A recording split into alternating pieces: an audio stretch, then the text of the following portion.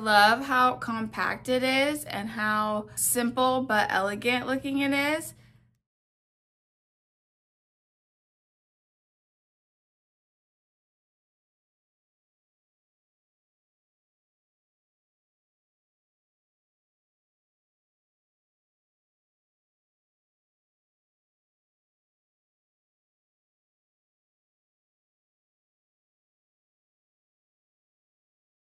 What's up you guys, right here with another review. Today I've got this super cute and super practical travel jewelry case. Here is the zipper, which is very easy to open and close, very smooth. This is in the semicircular shape, but it does have the flat bottom so that you can rest it standing up and one side is a little cushiony and then the bottom is a little bit harder. So lots of support here. Interior comes with a mirror, which is always nice to be able to see what the jewelry looks like on before heading out. The interior cloth is velvet and it has tons of different compartments. If you pulled this little tab here at the top, there is a whole another section in here to store earrings, a little pouch right here, and then here I would probably store my bracelets, and then you can close that back up. This is a perfect size for traveling.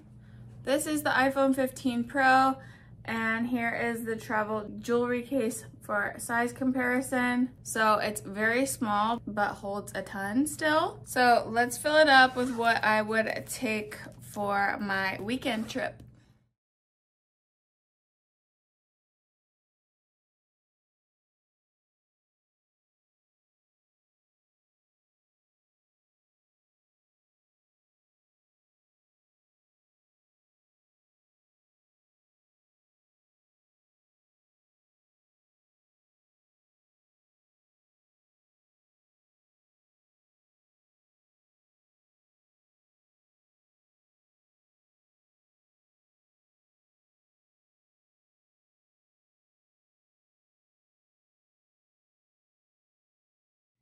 So this is what I would bring if I was traveling for a weekend trip. Right here, I've got my necklace hanging in there. And then in this little pocket, I have a spiral hair tie. And then I've got my two pairs of earrings right here. And if I close this up, you can see that I've got my two rings here, another necklace, an anklet, and then I even have a spot for some bobby pins. So perfect size. And there's even room for a bunch more stuff in there. Overall, this is an awesome case and is going to be perfect for holding my jewelry for my next trip out of town.